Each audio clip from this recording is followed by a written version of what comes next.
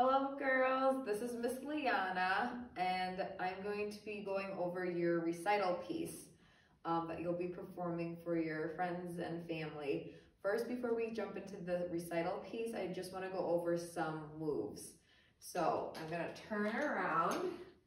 Um, so some basic moves that we need to remember is when we start off our dance, we are the stop sign. So we got to remember, we got to stop for the whole phrase. Stop in the name of love.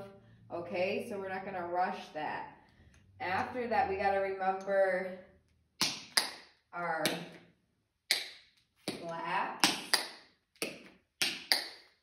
And then we have to remember how to do our slap back. And it should be eight slap back.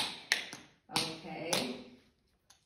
Um, another move I want you to remember doing and practicing is our cramp rolls. So remember, we always start off going to the right. And we start with the right foot, left foot, right heel, left heel. We do four of those.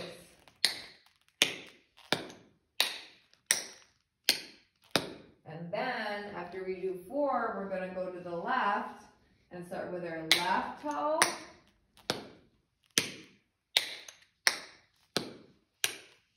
Left toe, right toe, left heel, right heel. Okay. And one last move I want you guys to practice is the um, shuffle ball change. Shuffle ball change. Shuffle ball change shuffle ball change. And girls, when we do that, we split off into two different lines. So I'm going to say the names.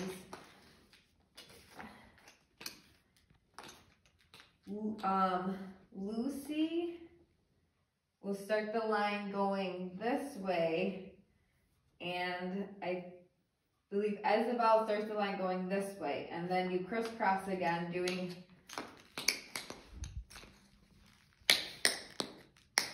the shuffle ball change. Okay. Let's get into the piece.